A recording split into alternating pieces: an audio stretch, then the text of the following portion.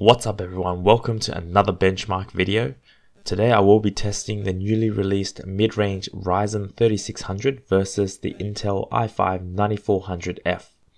Both of these are selling for around the 200 USD mark, so which is better for gaming? Sit back and find out. Bear in mind that I chose to do these tests at 1080p so the benchmarks are not too bottlenecked by the GPU but more reliant on the CPU.